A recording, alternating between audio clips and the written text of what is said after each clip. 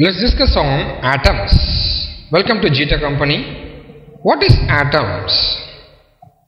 My name is Venkat and I am a Microsoft Most Valuable Professional. An atom is the smallest unit of substance. The identity of a substance will be destroyed if its atom is further divided. So, an atom will be having the protons, neutrons and it is surrounded by electrons.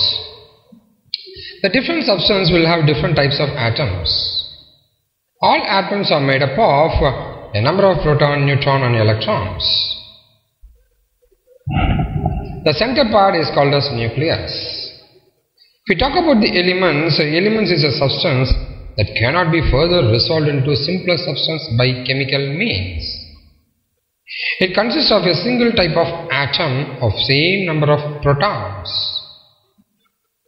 For example, gold and copper are elements with 100% gold atoms and 100% copper atoms respectively. Let's move on to compounds. It is a substance made up of more than one type of atoms. They are usually formed by a chemical process and atoms are bound together by chemical bonds. Let's discuss about the molecules. Molecules is the smallest unit of a compound. For example, water is dihydrogen oxide.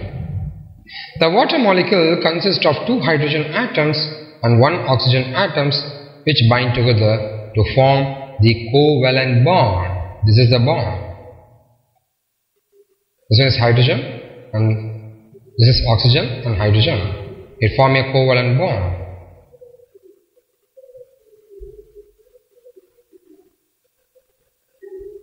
We are providing plus 2 intermediate physics 3D DVDs, 8 packs. You can buy it from our Flipkart site or you can go to Gtek website to buy it. You can call directly. Similarly, we got uh, for chemistry 10 DVDs as a single pack. You can buy it from us. You can subscribe to our YouTube channel for more, more videos. You can post your comments and queries and doubts in this YouTube video so that our expert team will answer it. Thank you.